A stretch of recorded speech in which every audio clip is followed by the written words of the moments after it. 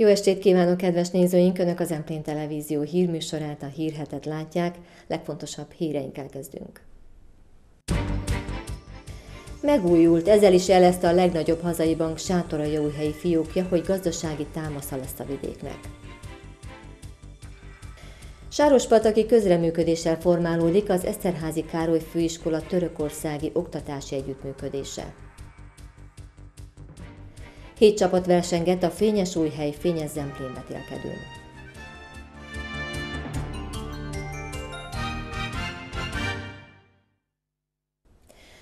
Megújult a legnagyobb magyar pénzintézet Sátoraljaújhelyi fiókja. A bank országos fiók megújítási programba kezdett, melynek során szem előtt tartva az ügyfelek igényeit, modern, kellemes környezetet alakítanak ki a pénzintézetekben. Az új helyi fiókot mintegy fél év alatt alakították ki a kor követelményeinek megfelelően.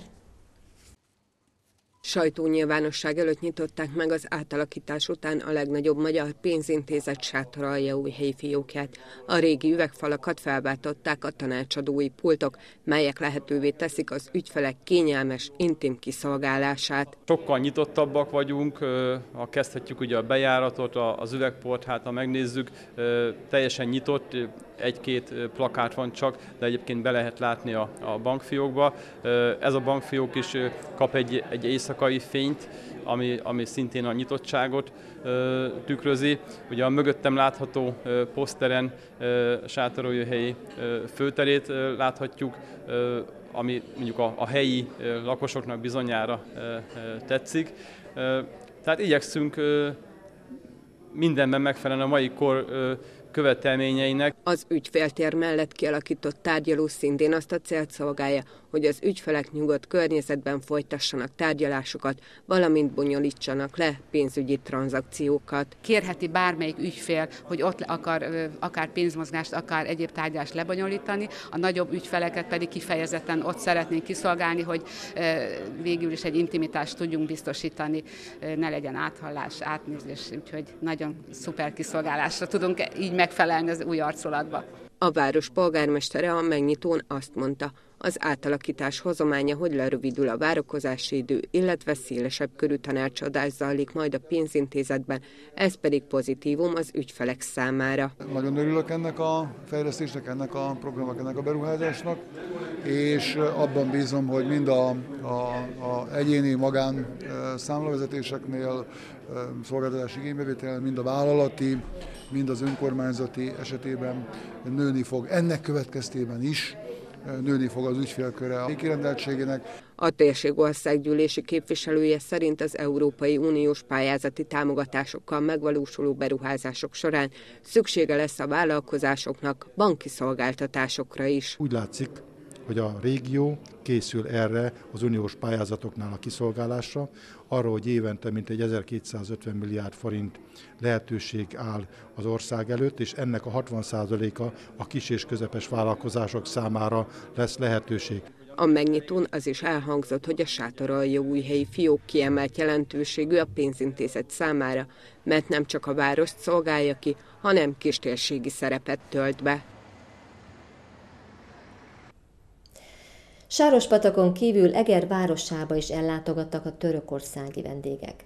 Rodostó testvérváros újonnan megválasztott polgármestere a kapcsolatok erősítése érdekében érkezett patakra, majd az oktatási együttműködés kiszélesítése érdekében az Eszterházi Károly főiskola rektorával is egyeztettek.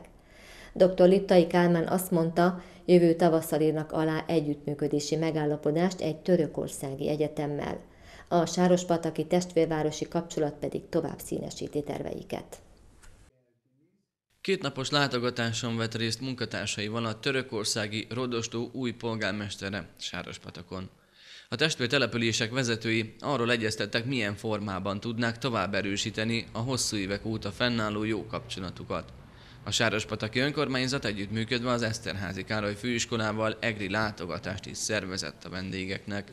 A főiskola rektora is fogadta a delegációt, ahol arról beszéltek, hogy a folyamatban lévő oktatás együttműködés létrejöttén sokat segít Sárospatak városának meglévő kapcsolatrendszere. Sárospataknak van egy hosszú óra nyúló együttműködése, én úgy gondolom, hogy ez pont azt mondja nekünk, amit mondtunk is mindig, hogy nálunk a, a, a múlt az érték, Sárospatakon és Egerben, és az Eszterházi Károly főiskolán is, és azokat meg szeretnénk őrizni. A rektor a vendégeknek egy közelmúltbeli nemzetközi találkozóról számolt be, ahol többek között Törökország nagykövete és felsőoktatási intézmények képviselői is jelen voltak Rodostóból. Előre haladott tárgyalásokat folytattak oktatási partnerségről. Az, hogy most a Rodostói, eh, Rodostó városának a vezetői ide érkeztek, ez még inkább szélesre fogja tárni a kaput. Hát egy nagyon izgalmas kapcsolatunk biztos van, ugye Egerben találhatók a Mikes levelek, ami eleve egy nyitottságot eh, biztosít. Másik, hogy hallottuk, hogy nagyon eh, szép és színvonalas egyetem van Rodostóban. Nekünk egy elég nagy ajánlatunk van a török részre. Most például kiderült, hogy még a szőlő és a bor is lehet egy közös gondolat. Úgyhogy úgy gondoljuk, hogy szörösre fűzzük a kapcsolatokat, és hát a jövő februárban odakint valószínűleg alá is írunk egy szerződést. A rodostói vendégek ezt követően bejárták Eger városát, megtekintve azon emlékhelyeket is, melyek hazánk török uralom alatti időszakából maradtak fenn a megyeszékhelyen. Sátoraljaújhely és a történelmi Zemplén vármegye nevezetességeiről, földrajzi és történelmi látnivalóiról, híres szülöttjeiről szóltak idén is a kérdések a Fényes Újhely Fényes Zemplén betélkedőn. Az általános iskolás korosztálynak hirdetett helytörténeti verseny kitalálói alkalmazkodtak a mai fiatalok igényeihez. Így az egyik előre kiadott feladat az volt, hogy készítsék el Kossuth Lajosnak saját közösségi oldalát. Hat csapat vett részt az idei Fényes Újhely Fényes Zemplén helytörténeti vetélkedőn, amelyet ebben az esztendőben is a Városvédő és Szépítő Egyesület és a Sátoralja Újhelyi Önkormányzat szervezett meg. A kérdések összeállítói nem csak Újhely, de az egykori Zemplén vármegye területét vették alapul, így a gyerekeknek épp úgy ismerniük kellett Tőketerebes vagy Nagymihályi látványosságát, mint Sárospatak vagy Pácin nevezetességeit. Nagyon jó, hogy rengeteg információt szereznek. Ezek az információk megragadnak, vannak a gyerekekben, ha családdal, ismerősökkel erre a vidékre tévednek, akkor örömmel mondják, hogy ők erről mennyi mindent tudnak. Elég nagy terület Zemplén vármegye, és örömmel vesszük, hogy a nagy Mihály, Tőketerebes, Királyhelmec területekről is információt szerezzenek a versenyzők, és ezáltal mélyítsék a határok menti barátságot. A versenyen írásbeli és szóbeli feladatok váltották egymást. A négyfős csapatoknak így ki kellett választani, ki melyik területen a legügyesebb. Főleg, hogy mi itt élünk Zámplénben, új helyben, szerintem illik, hogy tudjunk ilyen dolgokat a városunkról és arról a helyről, ahol élünk. A vetélkedő összeállítói minden esztendőben kiadnak egy előre elkészítendő feladatot. Korábban ezek beszámolók, rajzos, fotós plakátok készítéséről szóltak. Idén például Kossuth Lajosnak alkottak saját közösségi oldalt a diákok. És Kossuthot ugye elképzelve, hogy ő mire használta volna fel a Facebookot, nem csak az életútját bemutatva, hanem a lehetőségeit is abban a politikai korban próbálták a gyerekekhez kihasználni. A Fényes Újhely Fényes Zemplén vetélkedőn idén is részt vettek határon túli magyar iskolák diákjai. Felszámolták az önkormányzati zöld hulladék lerakót Sárospatakon, mégis napról napra újabb kupacok jelennek meg a területen. A lakosság számára korábban is tilos volt a hulladék lerakása, ma már pedig a hivatal is más helyre, zárt területre helyezi el a keletkező zöld hulladékot. A műszaki és kommunális iroda vezetője azt mondja, a novemberi lomtalanítás alkalmával még utoljára elviszi a zöld hulladékot az önkormányzat, az ezt követően keletkező szemétkupacok már bírságot vonnak maguk után. Végleg megszűnt és büntetéssel is jár bármilyen nemű hulladék lerakása a régi vágóhídnál patakon. Korábban az önkormányzat arra használta ezt a területét, hogy a városban keletkezett zöld hulladékot itt tárolta elszállításig. A hasznosítható anyagot ugyanis érdemes külön válogatni. A lakosságnak eddig is tilos volt a zöld hulladék lerakása ezen a területen is, mégis sokan idehorták a gajakat, ágakat, dióhéjakat, de a legnagyobb gond abból adódott, hogy veszélyes hulladékot és építési törmeléket is sokan pakoltak le. Terület, amit mi korábban kijelöltünk, ugye ez nem egy elzárt terület, és sajnos jellemző volt, majdnem minden nap előfordult, hogy a zöld hulladék mellett, amit a kommunális szervezet helyzet el, a lakosság rendszeresen hordott ide ki törmeléket, egyéb hulladékot, veszélyes anyagot, amit természetesen a vonatkozó jogszabályok ezt nem engedik meg. Mi történik akkor, hogyha most mégis valaki ide elhelyez bármilyen nemű hulladékot? Én kérem a tisztelt lakosságot, hogy sem ide, sem más önkormányzati területre vagy egyéb területre ne helyezzenek el semmiféle hulladékot, mert hulladékgazdálkodási bírság kiszabását vonhatja maga után. A város kezelésében lévő területekről egy másik helyre viszik a zöld hulladékot, hogy ne generálják újra az illegális lerakás esélyét sem. Az irodavezető egyfajta amnestiaként arra is emlékeztetett, hogy a novemberi lomtalanítás során az önkormányzat utolsó alkalommal, de lehetőséget biztosít a zöld hulladék elszállítására. Itt nem a szokványos kommunális szemetet fogják, vagy hulladékot fogják elszállítani, hanem azokat a nagyméretű felhalmozódott egyéb tárgyakat, amelyek, amelyek már használatra alkalmatlanok, azokat kell kihelyezni, lehetőség szerint kötegelve, és reggel 6 órakor indul a, a járat, amely ezt gyűjteni fogja. Most ennek keretében lesz mód arra, hogy bár nem a ZHK, hanem a kommunális szervezet fogja ezt is összegyűjteni, de az volna a, a, a kérésünk, hogy akinek van még ilyen zöld hulladéka itt az őszi munkálatok során, az helyezze ki zsákokban, kötegelve, és akkor most még van arra lehetőség, hogy ingyenesen elszállításra kerüljön. A lomtalanítást követően kihelyezett bármilyen hulladék után környezetvédelmi bírságra számíthatnak a tettenért emberek. Itt a Vágóhídnál például egy tábla is jelzi a lerakás tiltását, aki mégis behajt a területre, azt a kihelyezett térfigyelő kamera közreműködésével hamarosan megkeresik a hivatal munkatársai. Cigány Lóránt író irodalomtörténész diplomata nevét vette fel a Sátoraljaújhelyi Kossuth Lajos Gimnázium könyvtára. Cigány Lóránt Sátoraljaújhelyben született 1935-ben, s Londonban halt meg 2008-ban. Halála előtt úgy rendelkezett, hogy 2000 dalabból álló magyar nyelvű könyvtára legyen szeretett iskolájái a Kossuth Lajos gimnáziumé. Mostantól emléktábla hirdeti az iskolában, hogy az írónak még Oxfordban sem kellett szégyenkeznie, hogy ebben az intézményben tanult. Cigány Lóránt író irodalomtörténész az 50-es évek elején volt a Sátoralja újhelyi Kossuth Lajos gimnázium tanulója. 1956-ban másodéves egyetemistaként döntött úgy, hogy elhagyja Magyarországot. Londonba ment, ahol 1962 és 69 között a British Múzeum könyvtárának magyar szekcióját vezette. Később a BBC magyar adásának vezetője lett. 1986-tól rendszeresen járt Magyarországra, 1990-ben hazánk londoni nagykövete lett. A Miskolci Egyetem 1995-ben díszdoktorrá avatta. Az emigrációs magyar irodalom kiemelkedő alakja, irodalomszervező, könyvkiadó. Több művében is megemlíti, hogy még Oxfordban sem kellett szégyenkeznie egykori iskolája miatt. A Kossuth Lajos gimnázium tisztelegve Cigány Lóránt életműve előtt róla nevezte el a könyvtárát.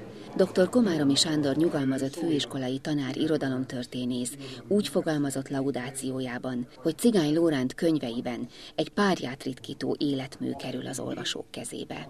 Azok a kötetek megőrzik az ő üzenetét, hogy mit üzen a mának, hogyan éltünk mi az 50-es években, hogyan éltünk a 60-as években, hogyan élt egy nyugati országban élő emigráns magyar, hogyan tanult, milyen körülmények között, mit tudott eh, elérni, hiszen ezek mind megvannak. Tehát egy olyan fajta életanyag kerül az olvasó elé, ami szintén párját ritkítja, és ez a következő nagy értéke. Cigány Lóránt úgy rendelkezett, hogy halála után 2000 kötetből álló magyar nyelvű könyvtára legyen szeretett alma máteréjé, a Kossuth Lajos gimnáziumé.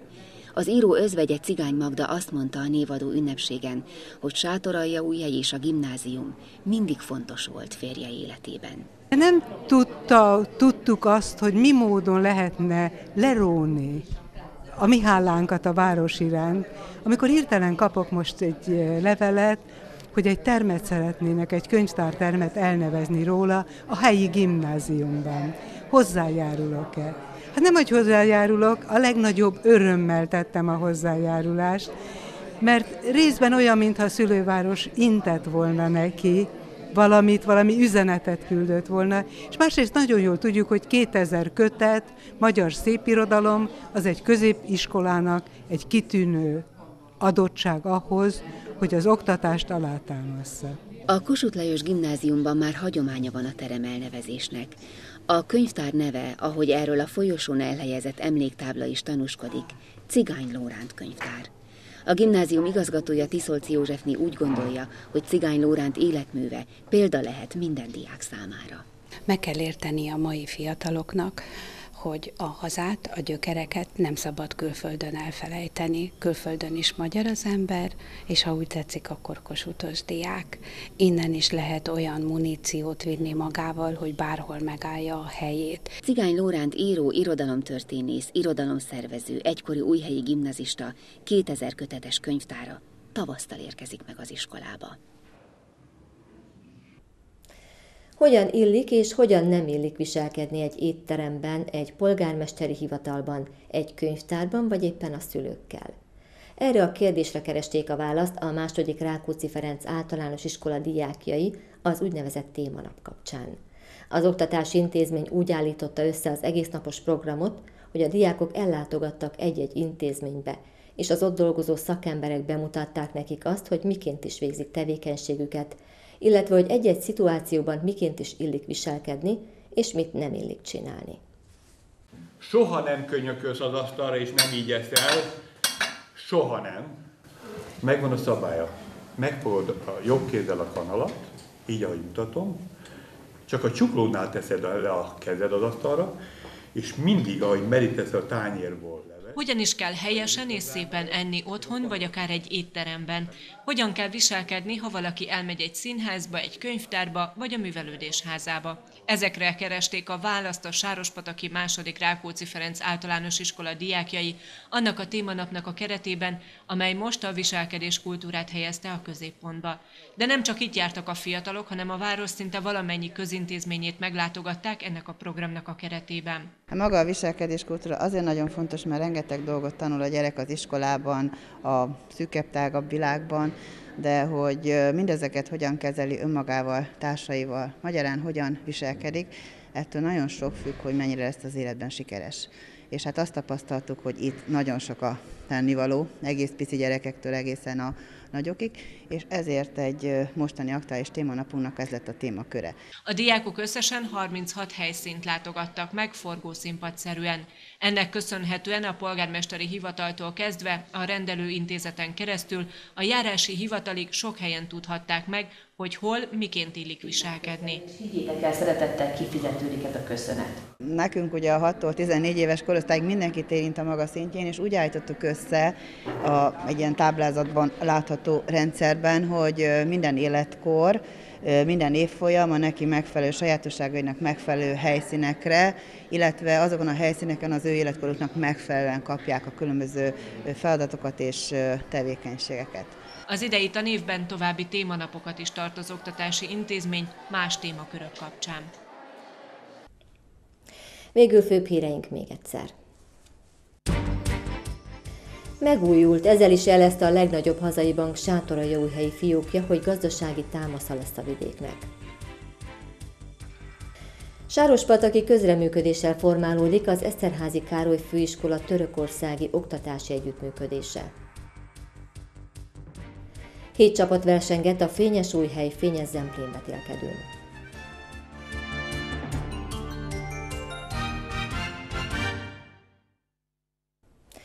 Kedves nézőink, Önök a Zemplén Televízió híradóját látták, híreinket újra megtekinthetik a www.zempléntv.hu weboldalon is. Ha a kérdésük, véleményük, témajavaslatuk van, írjanak nekünk a Zemplén TV kukat zempléntv.hu e-mail címre, vagy hívjanak minket a 322 744-es telefonszámon. Mára köszönöm a figyelmüket, viszontlátásra!